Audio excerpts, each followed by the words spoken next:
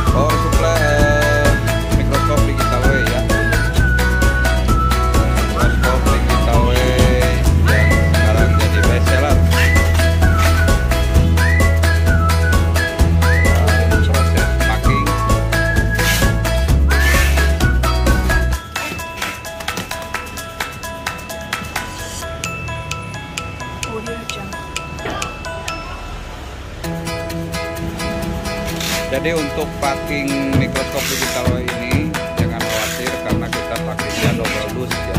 Jadi di dalamnya sudah ada dus dan styrofoam untuk mikroskop tersebut. Dan di luarnya kita lapis lagi dengan dus mikroskop digital. Jadi